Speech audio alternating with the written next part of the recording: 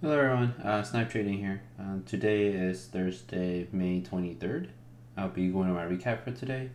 Um, so today I just had a one big trade and just uh, one tiny loss.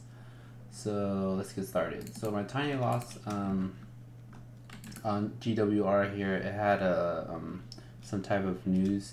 Uh, it popped up. Um, then I was looking at this uh, 9 minute 9 EMA or 1 minute 9 EMA um, and you can see it was holding holding and then right here is where it kind of um, popped below it.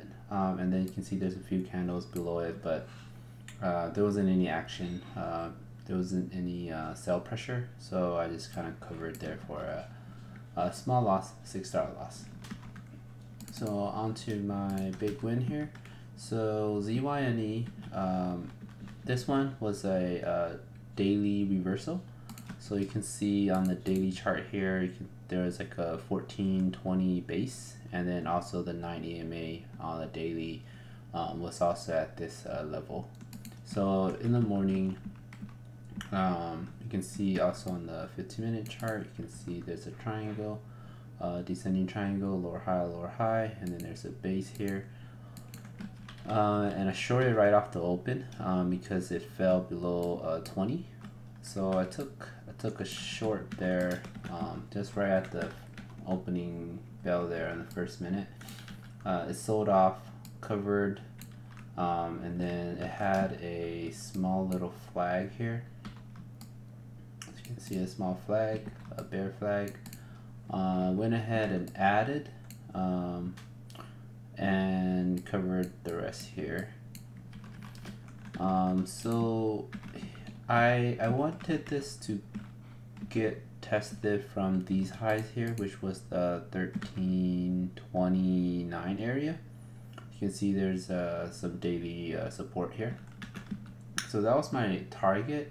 Um, so what ended up happening was it's creating these lower uh, highs. And you can see it bounce off uh, 1350s a few times here. Um, so that's why I got short um, you can see I got short here. I re-added um, and then I covered to downsize because it failed to push this 50 area. Um, and then I got impatient and covered the rest. And just a few minutes later it broke all the way down faded. Uh, got the move that I wanted uh, but I wasn't there um, could have been an extra 100 $150 there. Um, so this one I got a little impatient, but my uh, my initial risk stop was uh, above these highs, uh, 1365, which I never gotten. Um, but I didn't want to get squeezed out.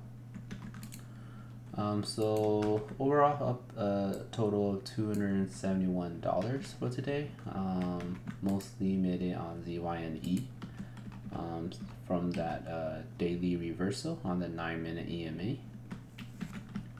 Um, there was a few uh, tickers that were moving. I think it was Max R.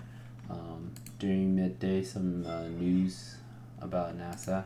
Uh, I wanted to short this uh, at this 27 area, 827 during this, uh, you can see it pop up back up here, but you know, glad I didn't because maybe I would have been stuck here and um, it got halted for an hour or so and reopened. Um, so that's all I have for today. Um, I missed a few uh, uh, trading recaps uh, due to some uh, personal reasons, um, but those uh, days I did take a few losses. Um, so I'll try to keep up with the videos. Um, so as always, um, thank you for watching, and if you enjoy my content, don't forget to subscribe, like, and comment. Thank you. Bye bye.